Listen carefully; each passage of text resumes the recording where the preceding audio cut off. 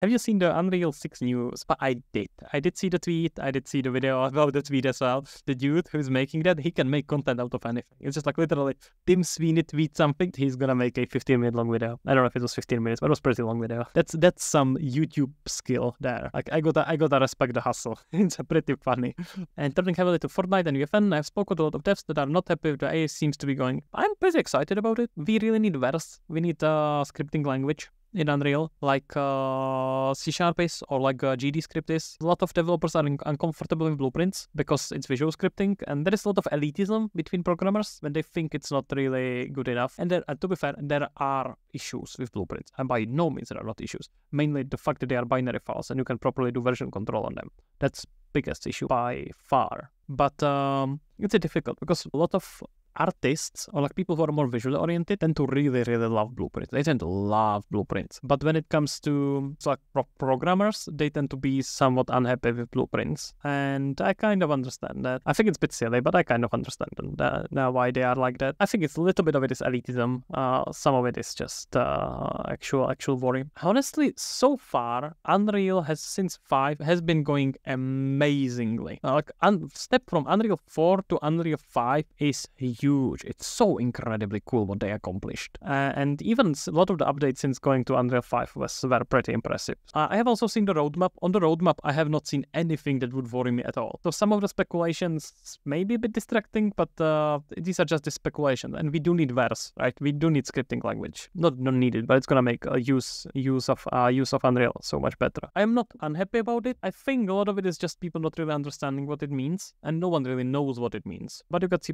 you can write C++ instead of blueprints. Yes, that's true, but it's uh, C++ is on runtime compile, and that's really slow to work with. It's annoying and slow to work with. I, I love C++, just to be clear. I really like writing C++, but uh, it's not very good for scripting logic. It's uh, really good when you need to do core hardware, but it's slow when you just need to do quick changes, and that's a problem. And also just debugging it is kind of difficult you really want still C++ for all the backend and all the core logic and uh, core gameplay, but uh, then you want something for scripting and blueprints may not always cover you. Uh, but yes, you can use, you can make a whole project without blueprint. Well, the honest, that could be a bit tough. But you can do pretty much all gameplay programming purely in C++. It's just a bit clumsy. Dynamic static mesh sounds like the solution. Things and just trying to create simple object for a minigame. Yeah, probably dynamic static mesh then. That's probably gonna be easiest. I think the easiest way and how I think uh, Tim Sweeney and the whole team is thinking about it is that Unreal 6 or Unreal with Verse it's not gonna be UEFN. UEFN is gonna be completely independent, probably. Think about it as if other programming languages you have a bunch of libraries. You have this whole Fortnite library, which are all which is all the Fortnite logic. So you can like include that if you were writing your C class. You can include there certain libraries and certain modules that you want to want your CPP class to have access to. And it's gonna be very likely very similar. It's probably a smart move actually, and I think it's long term better move to go in that direction. How you can think about it is that Unreal will become very modular as an engine you will be able to have uh, a core engine that is always there, and then you will activate yourself only modules that are actually relevant.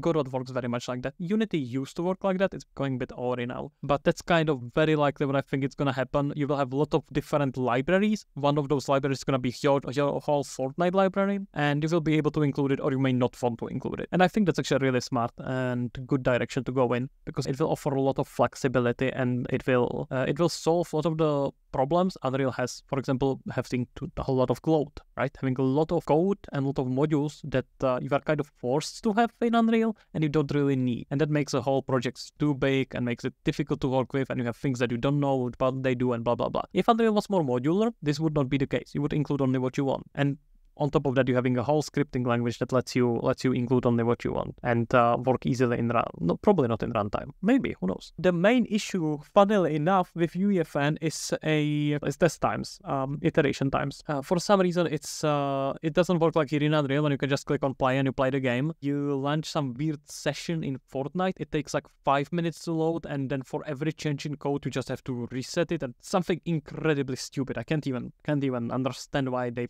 thought that was ever a good idea. Maybe they had to implement it like that because I sure as hell hope they had to, because otherwise, God, that would be some stupid thinking there. So I'm guessing there was rather some technical technical limitation. Uh, they had to go work around. Jesus, can speak properly. See, if that wasn't the issue, I wouldn't mind. Yeah, I think the uploads to the Fortnite server first hands it's so slow. Yeah, pretty sure, pretty sure that's the case. Pretty sure they are just basically having UEFN and uh, Fortnite uh, are completely different softwares right now, and they have this weird connection between them that takes forever to load. No respectable game developer is gonna take five minutes to wait uh, between iteration times. Like imagine I'm gonna be here, I'm gonna change something, I'm gonna move the arrow here, and then click on play, and wait five minutes before it goes. Like my work would slow down millions of times because it's not just the time you lose, it's also you lose the focus, you lose the flow that you have in your work, you go somewhere else because you don't are not gonna sit here for five minutes. So now you get stuck on coffee for 15 other minutes, and instead of five, you have now 20 minutes. It's just stupid. There is no way you are, you are ever gonna work like that. Uh, so yep,